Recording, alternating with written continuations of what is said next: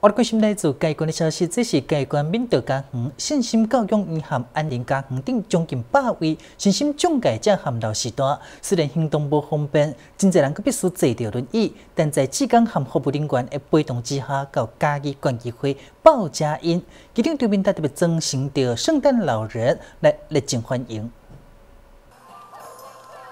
登记关怀新心竹社议长张密达特别把百姓圣诞老人加伫着圣诞头饰的议会员工伫门口热情欢迎，众人伫议会大厅欢喜的合唱圣诞歌曲。议长也阁派了一大袋糖仔饼分送给大家。随后依照议会往年的传统惯例，发给每一位新心障碍医生甲老时段一份加菜金，并颁发奖金，感谢当年辛苦照顾医生的收入甲志工。操作一个这个身心障碍者这个寒冬送暖的动作呢，当然呢，不希望我们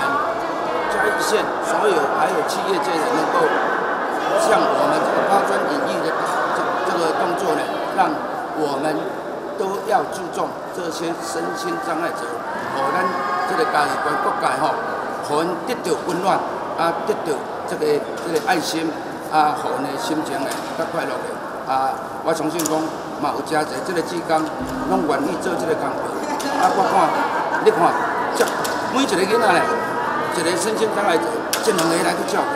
说真的，我们嘉义有三四万人的这个身心障碍者，希望呼吁我们全能够有能力的人，多多关心的来照顾这些身心障碍者。议长张明达讲，关怀弱势爱有实际行动。议会寒冬送暖只是抛砖引玉，邀请社会大众多多发挥爱心，和身心弱势经济的鼓励甲帮助。随后，议长张明达则是担心的塞着坐轮椅的阿嬷，认识议会的环境，甲阿嬷亲切的互动，甲大家做伙提前欢度圣诞佳节。最新新闻：柯晓红、嘉义关采访报道。